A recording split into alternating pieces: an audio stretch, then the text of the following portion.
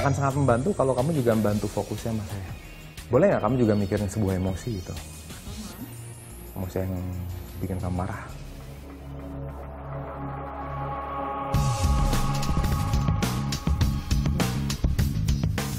bisa entah gimana pas lagi eh, fokus fokus fokus fokus boom gitu bisa kayak ada explosion kayak di koreknya lagi gitu terus Oke.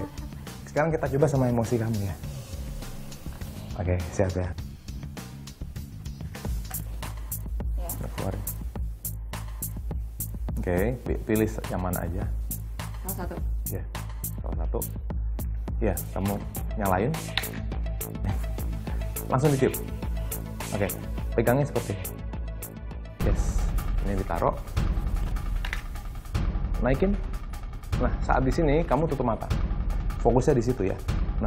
Saat kamu fokus dan tutup mata, kamu mau aku mau kamu bayangin sebuah emosi yang bikin kamu marah atau bikin kamu sedih. Fokusin emosinya di situ.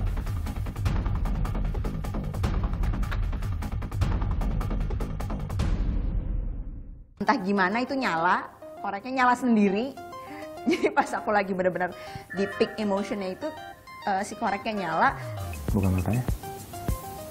Ini berhubungan dengan eh, pria, betul ya?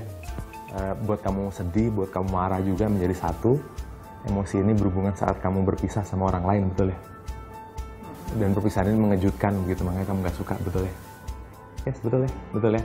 eksperimennya tuh berhasil gitu bisa ngomong apa yang ada di pikiran aku apa yang aku pikirin dari emosinya kejadiannya sampai detailnya Dan terjadi belum beberapa lama, makanya masih membekas.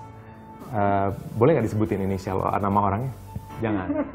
Jadi kan aku bayangin oh sedih terus ditinggal terus eh, hubungannya sama pria mau dikasih tahu namanya kayak ah no way Jangan, jangan. Oh ya udah kalau gitu. Oke, saya sudahin eksperimennya di sini ya. Oke, ditiup apinya.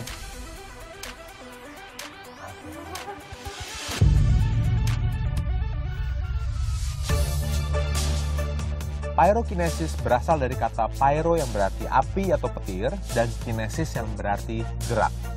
Jadi, pyrokinesis adalah sebuah kemampuan untuk memanipulasi api dan panas.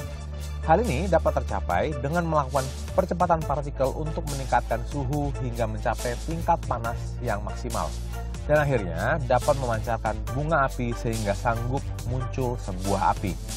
Sebagian besar orang dengan karunia ini mempunyai kemampuan untuk meningkatkan suhu pribadi mereka untuk menghangatkan diri mereka atau bahkan membakar bahan yang mudah terbakar dan membuat api setelahnya. Dan agar saya dapat merasakan memori dan emosi yang dipikirkan oleh Tina, yang perlu saya lakukan adalah meminta Tina untuk berfokus pada ujung korek bekas tadi. Dan jika fokus dua orang sudah cukup kuat, bahkan korek bekas yang sudah tidak dapat menyala tadi dapat dinyalakan kembali.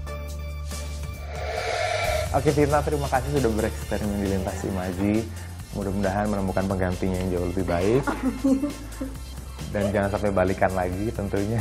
oh ya oke Mudah-mudahan dia nonton. Eh, iya sih Mau dulu? nggak usah Muka kamu langsung merah. Bye.